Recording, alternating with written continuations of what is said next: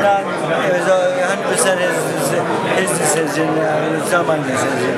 Um, um, we have an agreement though that like once I see him slipping and slowing down, that I will tell him to retire and he will retire. And, uh, but I haven't seen that yet. He's he's still really back out. I've always known his work ethic is great. He's, he hasn't lost his step. Mr. Roach, what do you think of Jessie Vargas? You think he's a very, very hard boxer? He's a good boxer. He's two-time world champion at a young age. He's a very good fighter. I mean, winning world titles don't happen by accident. So he's uh, obviously a good fighter, but um, um, is he as good as Manny Pacquiao? I don't think so. How do you see this fight is going to be? Start off. Um, Artists will start a little bit quick, and they'll take him out by four rounds, and uh, I think we'll knock him out somewhere around nine rounds. So do you think he's going to come out stronger than before? I definitely am looking for that, yes. How are the how is the training going right now? Well, we haven't started training yet with me. Uh, we've been training with Buboy in the Philippines, and uh, everything's been going well so far. But when I when I get to the sparring matches, maybe the, the, the full film starts. Okay, thank you so much. What do you think about uh, Vargas's last uh, fight against Sadam? Um, I was approached by Sadam's people yesterday. they asked me about training him, and um, I, obviously I've been watching that fight a little bit, and uh, you know, it, was, a good fight. Um, he fought he fought a good fight. I, I felt, and I thought he won the fight, but um, uh.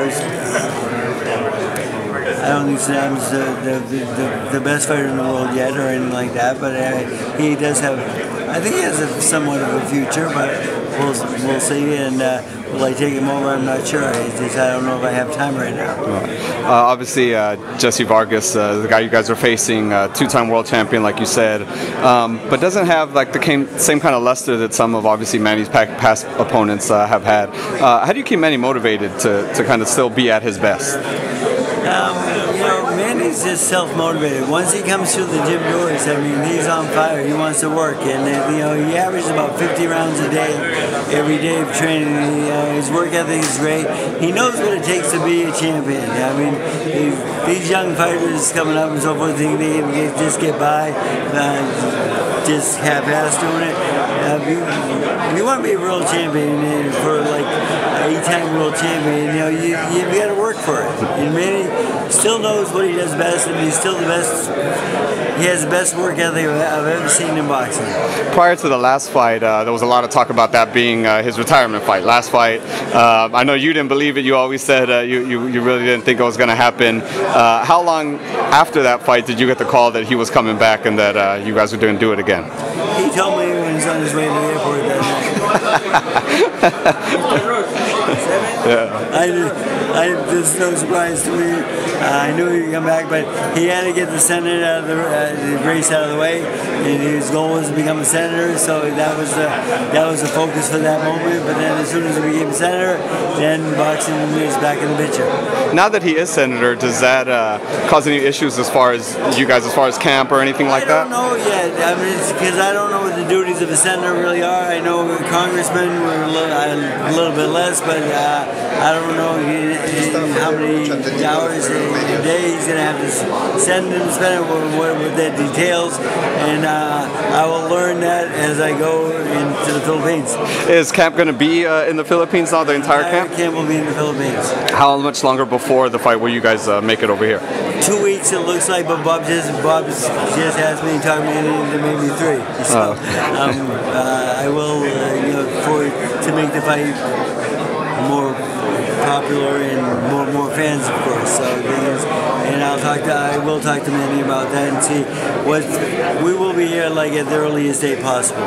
Prior to um, the Tim Bradley fight, you were saying that you wanted Terrence Crawford. You kind of wish that was Terrence Crawford. Obviously, you're not getting Terrence Crawford. Is do you see that as, as maybe Manny's possible next opponent? Do you see that fight actually happening down the road, or I think it can happen down the road. It's definitely a, you know, a big fight, but you know the thing is, well, I mean, the, the biggest fight for us is a rematch with Mayweather. Obviously, I mean that's the fight I I, I want, but um, you know we'll, we'll see. But if uh, if Mayweather doesn't come to the table, Terrence Crawford is definitely a possibility. I've, I've heard Bob uh, mention uh, Canelo actually as a possibility. I know that was kind of in the works for a while. Uh, what do you think about that? Is that still a possibility? he's a little bit big, and um, but um, it's definitely a possibility though, because I, I don't think he's the greatest fighter in the world. I know he's a, you know, he's a good puncher, and uh, um, he does have knockout power and stuff like that. But I think, I think he can be outboxed pretty easily. The right type of fight, but the thing is, uh, he's a little bit dangerous though. But um, we'll see. How, how would you uh, approach that fight as far as uh, with Manny? Definitely would box. I mean, the, the whole lie in and out, and uh, don't stay in the pocket too long with that guy. And uh, don't fo- don't when he feints you, don't put your hands out like Amir Khan does. Yeah, no, That was a really bad mistake.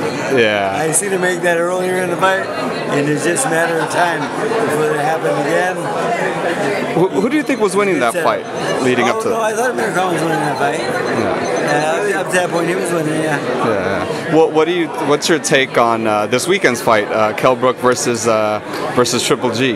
Three rounds. Three rounds, really? That's it? Yeah. Wow. I mean, this guy put all that weight on you. How long? How long does your body really get to adapt to having that weight, much more weight on? How tired is he gonna get? Um, Triple G's a great puncher, great fighter. I think Triple G, pound for pound, is the best fighter in the world today. Better than uh, you, pound for pound wise, better than uh, Chocolatito. You feel? Yes. Yeah. Uh, give us your. He's in a very tough fight this week. Yeah. How do you see that going down? And that's a toss-up. man. That's a good fight. It's a toss-up. The other guy from Sinaloa, he's no joke. He's a real fighter. No, no, definitely. real- that's, that's a good fight. Uh, a big uh, pound for pound rank. Up in weight too. Yeah, he has three another division. That'd be he'd be the first uh, Three Nicaraguan. rounds though, but it's small. But yeah, but he'd be the first uh, Nicaraguan to ever win um, four four weight four titles in four weight divisions. Because Alexis Argüello, yeah, only got three because he went against Pryor in the yeah. Um, how do you feel the fight when it ever happens, if it ever happens, Triple G versus Canelo? That's a great fight. I mean, you know, I, I, I don't think Canelo's scared of anyone. I don't think Triple G's scared of anyone either. You know, the thing is, fighters aren't scared to fight each other and so forth.